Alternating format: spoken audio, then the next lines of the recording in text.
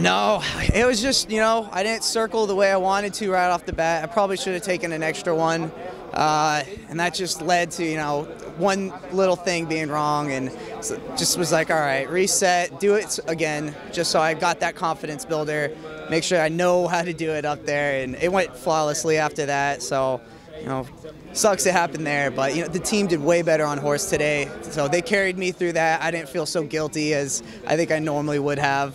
Uh, but after that, you know, we just picked up the pace, and we knew that we just had to keep hitting sets, put some pressure on, and you know, I think the teams were starting to feel it towards the end. But if you look at the last rotation, I would say we had the most solid finish, you know, and that I think will transition us to bigger and better things in the years to come. I mean, expectations for us weren't very high. I think going into it, people didn't see us on the podium, but I think we showed that we're a lot closer to being on that podium than people expected us to be.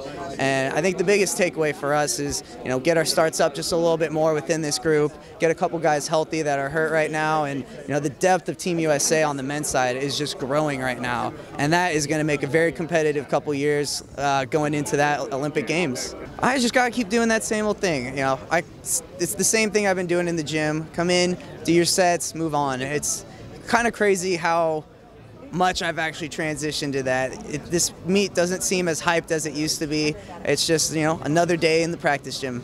That just felt like what I do, just what I do at home. You know, Colin and I have been playing like this game where Dre will judge us, and it's all about getting a red score, which is under like 1.6 deductions, which we got a little leeway on high bar because they seem to be hitting high bar harder than ever nowadays. But you know, we've been doing that for the past month and a half, and we've just been red, red, stick, stick, and you know, you just do that for practice that long enough. All of a sudden, it's going to come out in that muscle memory in these pressure situations.